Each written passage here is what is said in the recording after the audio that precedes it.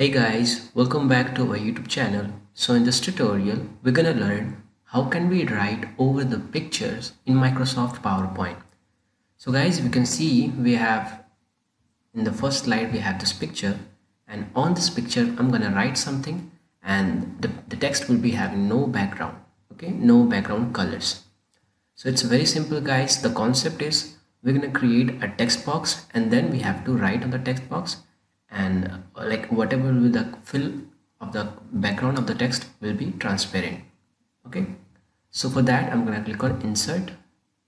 And here in this text group we have a text box. Just click on that and click on the picture where you want to enter the text. Okay? So i'm just writing.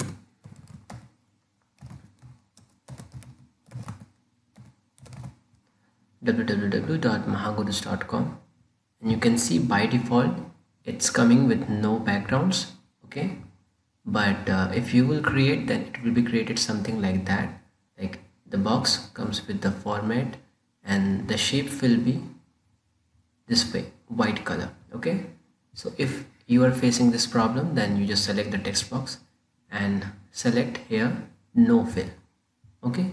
So this way you, your text background will be total transparent okay now you can format that text like you do uh, in a normal text box. You can also format your text from here. You can increase the sizes. You can change the fonts. You can add word art style. You can add the text effect outlines or text fill from here. Okay? Like that. So this way guys you can add a picture and on the picture you can write something. So that's all for today guys. Thank you. If you really like the content, then please like the video and click subscribe to see more videos like this. And you can visit mahagurus.com to see lots of other software courses. Thank you.